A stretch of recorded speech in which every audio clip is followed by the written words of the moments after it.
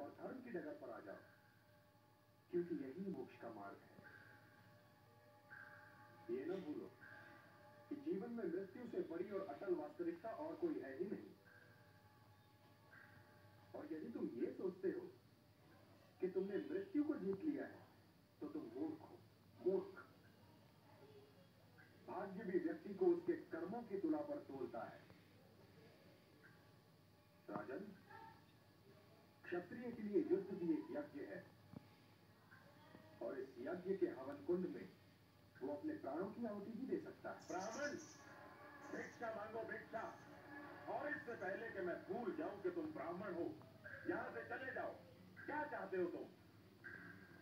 द्वंद्व युद्ध। द्वंद्व युद्ध हाँ राजन हम तीनों में से किसी एक को चुन लो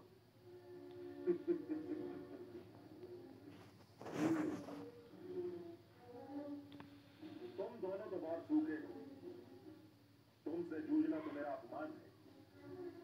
फिर भी मैं तुम्हारे साहस की प्रशंसा करता हूँ।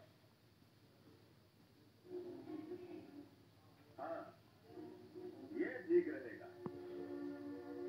फिर भी द्वंद युद्ध से पहले अपना परिचय दो। क्योंकि तुम ब्राह्मण नहीं ये कुंती पुत्र अर्जुन है। ये कुंती पुत्र भीमसेन और मैं देव की नंदन कृष्ण।